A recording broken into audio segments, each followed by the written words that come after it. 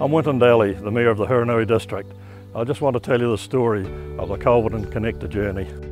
The Connector role was born out of the need for staff retention and attraction. The role of the Connector was to make the initial contact with our newcomers and connect them into the community.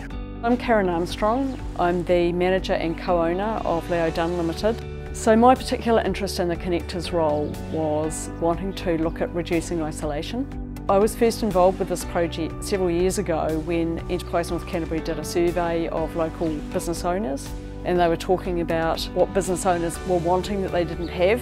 We wanted a wider variety of services that could respond to our needs. Being able to attract and retain staff to continue to live in Culverden, I guess opportunities for partners. This district needs new people, it needs the vitality of new people coming in. One of the highlights is um, the new cultures that have come into this district.